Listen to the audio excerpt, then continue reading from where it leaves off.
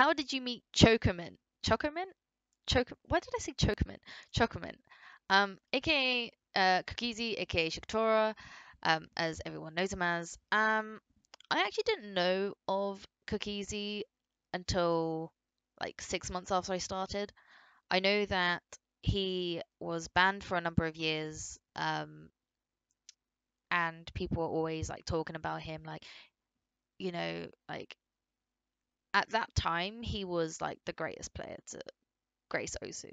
Like he still is such a, a an amazing like tournament player and a still amazing player. You know, he doesn't, you know, he doesn't really play for PP that much nowadays. He normally plays like unranked maps and he plays a lot of loved maps and um I actually got his mutual because it was very strange because I I actually refed a bunch of tournaments of his and during that time he was, you know, having Cookiezi in your tournament's really big because like everyone wanted to see him play and everyone was and everyone is and was and still is like really big fans of Cookiezi. Like I'm a, I'm a big fan of Cookiezi. I love the way like I love seeing him play.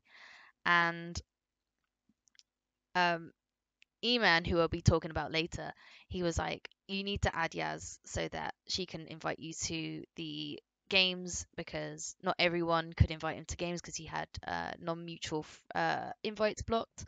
And I eventually got the Cookiezi Mutual, the, the, the rare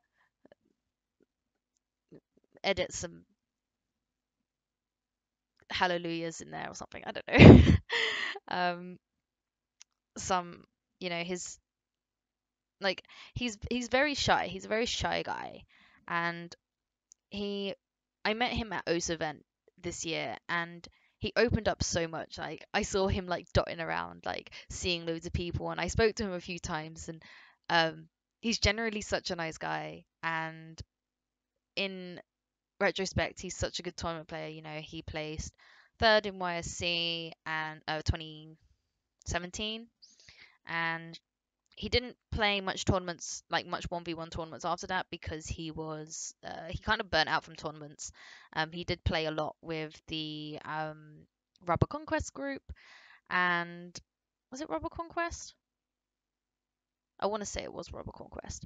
Um, and seeing him during the 1v1 tournament at uh, you know, it was um, it was awesome to see. Um, he's just an awesome person in general, and I'm so glad that you know I got to meet the the one and only Cookiezi, and you know I I haven't really been on his stream as much, and I haven't really refed any of his games recently, but you know you still see him streaming, and he loves pineapple pizza, which I mean I can sort of get behind, I guess. but yeah, uh, that's how I met Cookiezi. Um, basically through a bunch of tournament streams and tournaments first, and then, well, first I knew of him when he when people were talking about him. Then he got unbanned. Then I met him through a bunch of tournaments, and then oh, excuse me, and then I met him at osu event, and yeah, like I hope to see you soon, dude, because like you're an awesome person.